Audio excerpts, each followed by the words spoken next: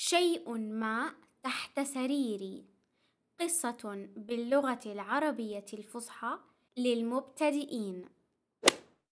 استيقظت من نومي وأنا أشعر بالعطش. أريد بعض الماء. بدأت أبحث عن النعل تحت سريري. هذا هو النعل. تحت السرير فوق السرير يا إلهي هناك نمر تحت سريري هذا هو النمر والآن ماذا علي أن أفعل؟ ماذا يجب أن أفعل؟ هل أنادي أمي؟ ماذا لو بدأ النمر في الهرير؟ هذا هو صوت هرير النمر.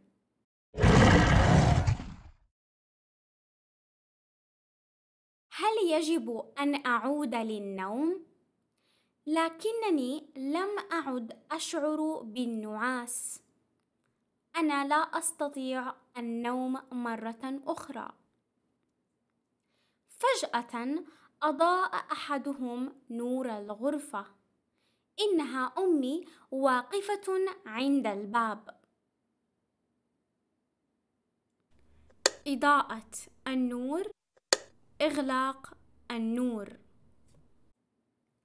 قالت أمي ماذا بك يا صغيري؟ هل ناديتني؟ أشرت نحو النمر.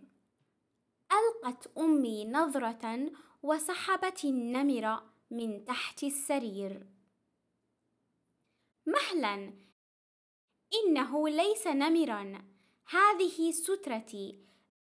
ذات اللونين الأسود والأصفر. إن أزرارها تلمع مثل عيني النمر. هذه هي الأزرار. لقد شعرت بالخوف من شيء تافه. أحضرت لي أمي بعض الماء. والآن سأنام وسأحلم بنمور حقيقية في الغابة. وهذه هي نهاية هذه القصة. أتمنى أنها أعجبتكم. ولمزيد من القصص باللغة العربية الرجاء الاشتراك في القناة والضغط على زر الإعجاب ونشر الفيديوهات. شكرا. مع السلامة.